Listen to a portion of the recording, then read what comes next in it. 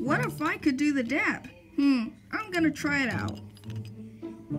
Hey, it worked!